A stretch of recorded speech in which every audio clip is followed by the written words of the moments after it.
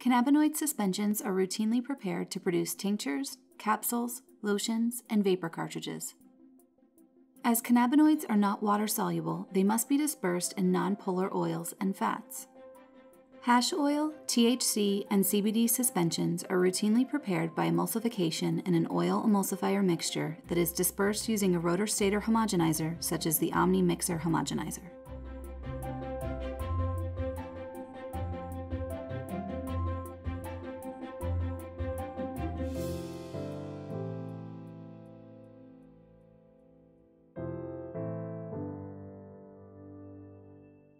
To begin, prepare 510 grams of your desired oil.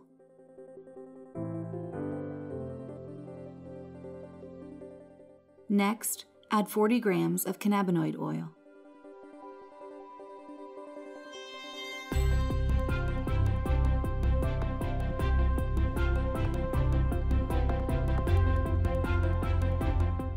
Equip the Omni Mixer with a 20mm rotor stator probe. Set a timer for 2 minutes. Set the speed dial to 4. Press the on switch to begin the processing cycle. The rotor stator emulsification process will create a shelf-stable emulsion with particle sizes ranging from 1 to 50 micrometers. Your cannabis emulsion is now ready for packaging.